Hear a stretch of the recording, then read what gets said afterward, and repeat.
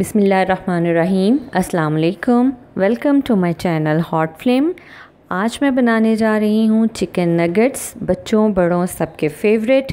बहुत ही आसान और झटपट बन जाने वाली रेसिपी के साथ। तो चलें, इसको बनाना शुरू करते हैं। तो सबसे पहले आप नगेट्स में डलने वाली तमाम चीज़ें नोट कर लें। मैंने इसके लिए लिया है हाफ़ के जी बोनलेस चिकन और उसको बिल्कुल छोटे छोटे पीसेस में मैंने काट लिया। उसके बाद इसमें जाएँगे दो अदर ब्रेड स्लाइसेस अगर आपके पास ब्रेड छोटे साइज़ की है तो फिर आप उसमें तीन ब्रेड स्लाइसेस यूज़ करेंगे। उसके बाद मैंने नमक लिया है हाफ़ टी स्पून से थोड़ा सा ज़्यादा है और हाफ़ टी स्पून इसमें काली मिर्च है पिसी हुई हाफ़ टी स्पून इसमें ज़ीरा पिसा हुआ और टू टेबल स्पून इसमें जाएगा सोया सॉस और एक जाएगा इसमें अंडा। तो सबसे पहले हम इन जो ब्रेड स्लाइसिस हैं, इनके किनारों को अच्छी तरह से अलग कर देंगे, काट लेंगे। और ये जो इनके किनारे हैं, इनको हम ज़ाया नहीं करेंगे, बल्कि ये ब्रेड क्रम्स बनाने में हम इनको इस्तेमाल करेंगे। और वही बात कि अगर आपकी जो ब्रेड है, उसके स्लाइसेस छोटे हैं तो आप तीन स्लाइसेस यूज़ करें। ये तमाम जो किनारे हैं, इनको हम हटा देंगे। और ये जो ब्रेड स्लाइसिस हैं, इनको हम छोटे छोटे टुकड़ों में काट लेंगे।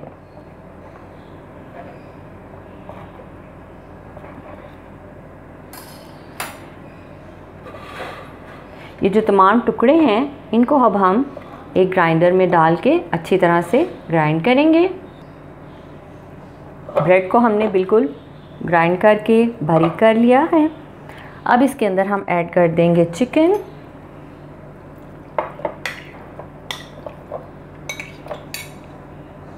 साथ ही हम ऐड कर देंगे इसमें नमक, काली मिर्च, ज़ीरा और सोया सॉस। हमने जो अंडा लिया था एक, उसको हमने इस तरह से बीट किया।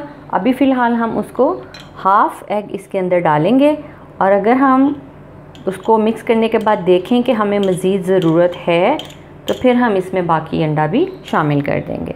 अब हम इसको सारे मटेरियल को फिर से ग्राइंड करते हैं। ये देखें, अच्छी तरह से बिल्कुल इसको हमने पीस कर इसकी जो बिल्कुल पेस्ट तैयार कर ली है। इस स्टेज पे नो कॉम्प्रोमाइज़ हमने ज़रा सा भी उसको मोटे पीसीज नहीं छोड़ने हैं। अच्छी तरह से इसको ग्राइंड करना है।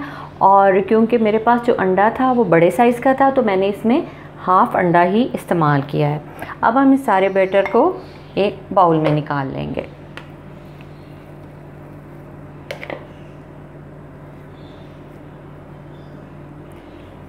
अब हाथों के ऊपर ग्लव्स पहन के मैंने थोड़ा सा हाथों पे ऑयल लगाया ताकि ये जो बैटर है ये हाथों पे ना चिपके। और इसमें से ये देखिए, थोड़ा सा बैटर लेंगे। और इसको नगट की हम शेप दे देंगे। आप चाहें तो बिल्कुल स्क्वायर भी रख सकते हैं राउंड भी बना सकते हैं। हम इसको नगट की थोड़ी सी शेप दे देंगे।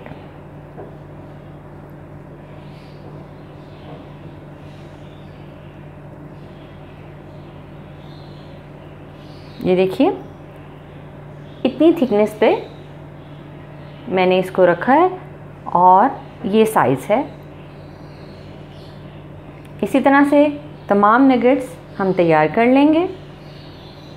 ये देखें हाफ़ के जी चिकन से माशाल्लाह इतने सारे नगेट्स बन चुके हैं। अब नगेट्स की कोटिंग के लिए मैंने लिया है हाफ़ कप मैदा और हाफ़ कप कॉर्नफ्लोर और इन दोनों को मिक्स करके रख लिया। फिर उसके बाद ये ब्रेड क्रम्स हैं, जो कि फ़्रेश मैंने ब्रेड को ग्राइंडर में ग्राइंड करके बनाए हैं। उसके बाद एक बाउल में मैंने लिया है एक अंडा। उसके अंदर मैं डालूँगी तकरीबन टू टेबल स्पून के करीब दूध। और इसको अच्छी तरह से मैं बीट कर लूँगी। ये जो मैदा और कॉर्नफ्लोर को हमने मिक्स करके रखा है, इसके अंदर हम डाल देंगे क्वार्टर टी स्पून सॉल्ट और half teaspoon garlic powder और इन चीज़ों को डाल के हम इसमें अच्छी तरह से इसको मिक्स कर लेंगे। अब हम नगेट्स की कोटिंग शुरू करेंगे। सबसे पहले नगेट को हम कॉर्नफ्लोर और मैदे का ये जो पाउडर हमने तैयार किया है, इसमें डिप करेंगे। हल्का सा इसको हम डस्ट करेंगे। फिर इसको हम अंडे में डालेंगे और अच्छी तरह से अंडे से इसकी कोटिंग कर लेंगे। इसके बाद इसमें से निकाल के ब्रेड क्रम्स में डालेंगे। और इसके ऊपर ब्रेड क्रम्स को अच्छी तरह से हम लगा लेंगे। और ब्रेड क्रम्स लगाने के बाद, ये देखिए, इस तरह से नगट तैयार हो जाएगा। इसको हम यूँ प्लेट में रखते जाएँगे। तो ये तमाम नगेट्स कोटिंग के बाद रेडी हैं। इस स्टेज पर आप इनको किसी भी कंटेनर में सेट करके फ्रीज़ भी कर सकते हैं और एक माह तक इजीली इनको जब आप चाहें यूज़ करें निकाल के। इस वक्त हम इनको फ्राई करते हैं। ऑयल को पैन में डालकर मैंने गरम कर लिया। अब हम इसके अंदर नगेट्स डालेंगे।